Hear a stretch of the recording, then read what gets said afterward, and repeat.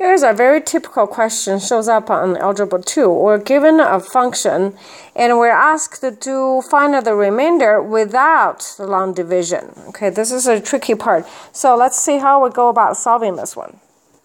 Alright, so here's the analysis. I have a very easy division over here. 7 divided by 3 with 2 as a quotient and 1 as a remainder. As you can see, we write 7 as 2 times 3, quotient times what we're dividing by, adding the remainder. This is no different than what we're doing over here. So we were asked to have this function divided by x minus 3.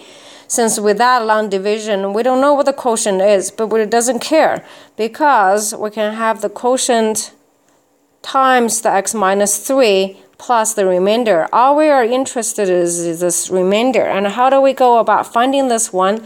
Well, luck is on our side because if we have x minus 3 evaluated x equal to 3 on both sides, as you can see, since x equal to 3, this whole chunk goes away. A remainder we can find, and all we have to do is evaluate the function at x equal to 3. All right, let's uh, write up the solution.